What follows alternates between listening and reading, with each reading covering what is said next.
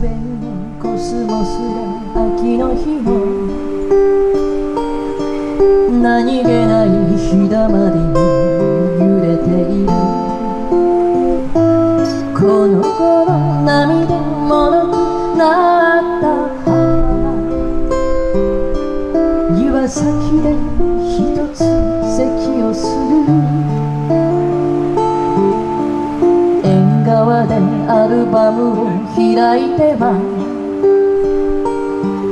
私の幼い日の思い出を何度も同じ話繰り返す。独り言みたいに小さな声で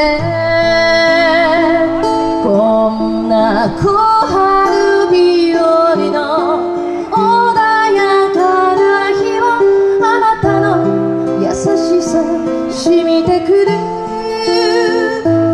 私だと継ぐ私に苦労はしても笑い話に時が帰るよ心配いらないと笑った。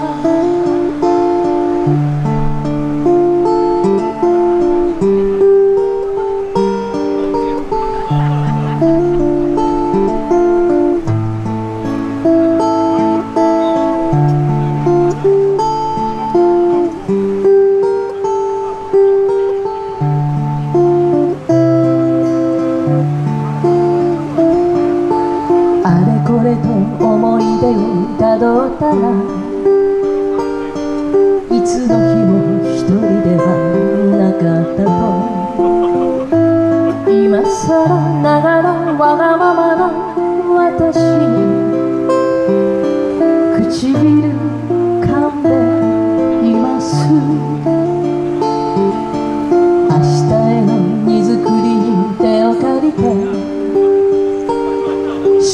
く楽しげにいたけれど